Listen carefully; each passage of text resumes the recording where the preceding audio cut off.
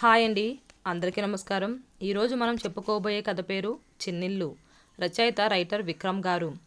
అబ్బా వద్దండి. నిద్ర వస్తుంది. తన మీద ఆతృతగా కదులుతున్న అతని చేతులను తప్పించటానికి విఫలయత్నం చేసిందామె. నీకు నిద్ర రానిదెప్పుడులే. ఆమె మాటల్ని పట్టించుకోకుండా తనకు కావలసినవి వెతుక్కుంటున్నాడు అతను రేపు ఉదయాన్నే లేవాలండి. బోలెడు పనుంది. వదిలేద్దురు అని వేడుకోలుగా అందామే. ఏ ఇది మాత్రం పని కాదేంటి? ఆయన కాసేపు నోరు మూసుకుంటే నీ సొమ్మేం పోయింది? అని కసురుకున్నాడతను. ఇక అతనికి చెప్పి లాభం లేదని అర్థమైపోయి మౌనంగా అతని కదలికల్ని భరించడానికి శరీరాన్ని సిద్ధం చేసిందామె. కాసేపటికి అతని అవసరం తీరింది. ఆమె మీద నుంచి పక్కకు దొర్లాడతను.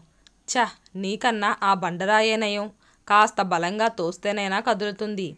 నీలో మాత్రం కదలిక రాదు.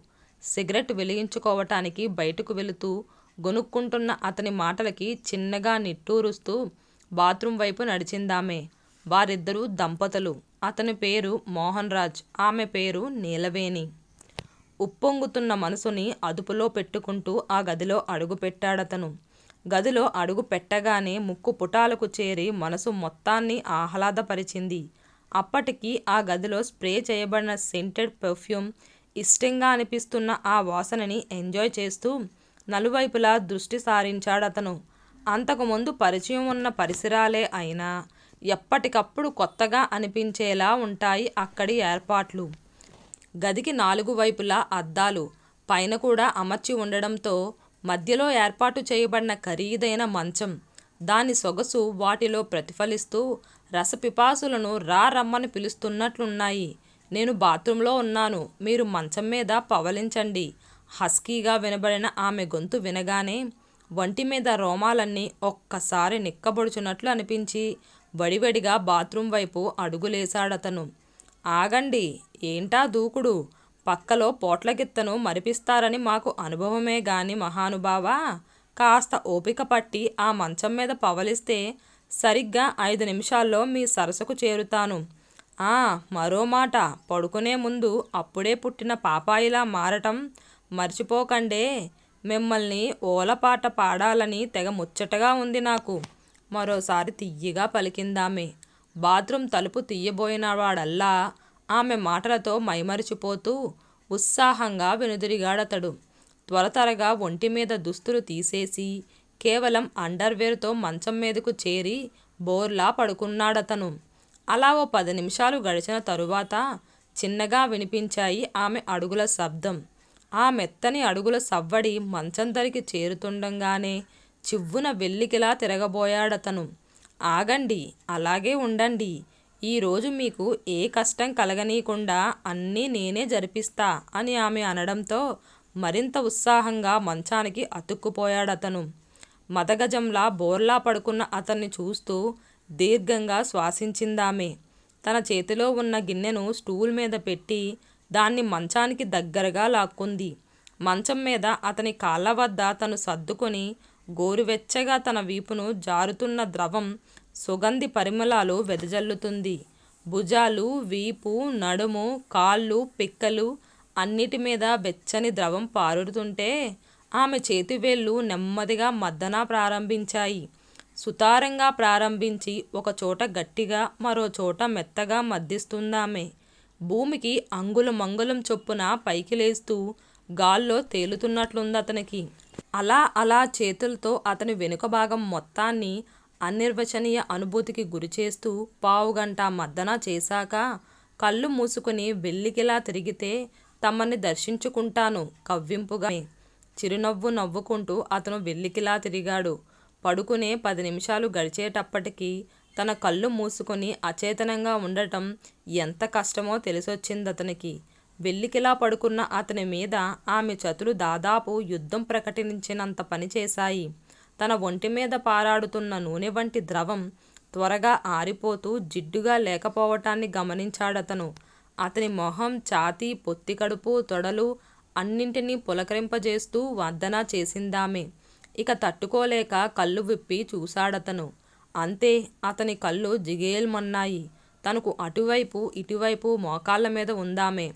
ఇరవై ఎనిమిదేళ్ళ బరువైన అందాల్ని టర్కీ టవల్లో బిగించిన ఆమె కూడా అంతకుముందే ఆయిల్ బాత్ చేసినట్టుంది. అదో రకమైన మెరుపుతో బిగితో కనిపిస్తున్నాయి ఆమె అందాలు.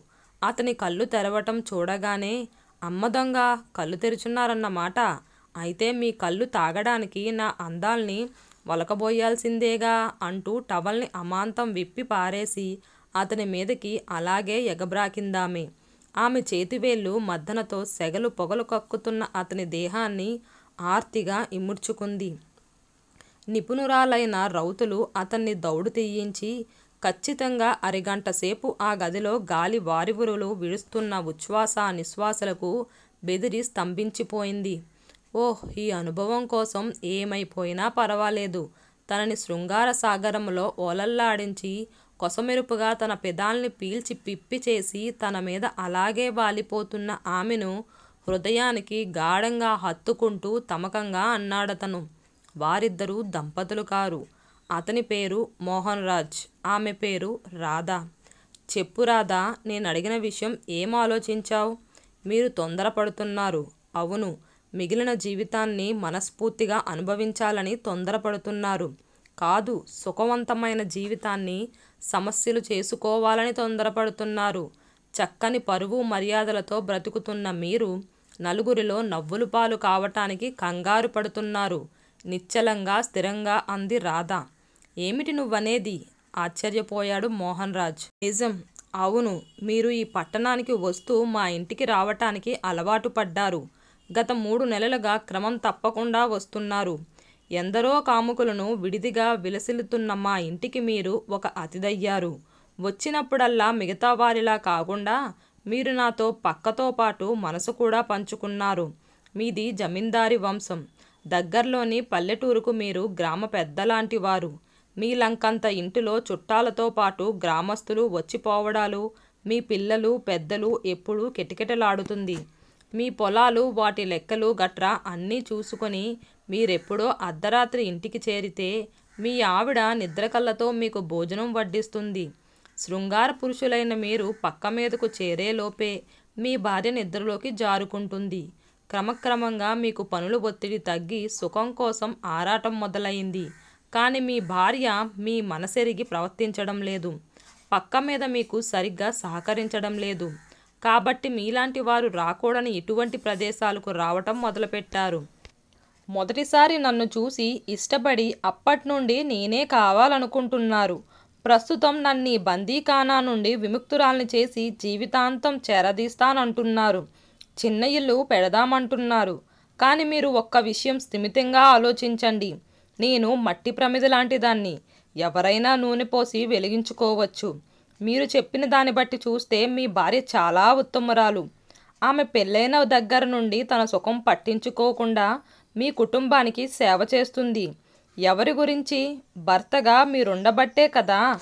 ఆ పనులతో అలసిపోయి ఉన్న ఆమెను నిన్న మొన్నటి దాకా రాత్రులు కూడా నిద్ర లేకుండా చేశారు. మీ గురించి తన సర్వశక్తుల్ని దారపోస్తున్న ఆ ఇల్లాలికి మీరే దక్కకపోవటం ఎంత న్యాయం? వెళ్ళండి. మినుగురును చూసి దీపాలుగా భ్రమించే బదులు నిజమైన వెలుగునిచ్చే దీపం మీ ఇంట్లోనే ఉందని గ్రహించండి. మీకు పనులు తగ్గి విశ్రాంతి దొరుకుతున్న ఇదే సమయంలో ఆమెకు కూడా కాస్త తీరికనివ్వండి. ఆమెకు తన ఆడతనపు శక్తిని మీకు చూపించే అవకాశం ఇవ్వండి. ఆ పరిస్థితులు కల్పించండి. అప్పటికి ఆమె అలాగే ప్రవర్తిస్తే నా వద్దకు రండి. మీ ప్రతిపాదనకు నేను అంగీకరిస్తాను. ఒక్కో మాట ఒత్తి పలుకుతూ అంది రాధ. లేచి నిల్చున్నాడు మోహన్ రాజ్. వస్తాను రాధా నా బాధ్యత నెరవేరుస్తాను.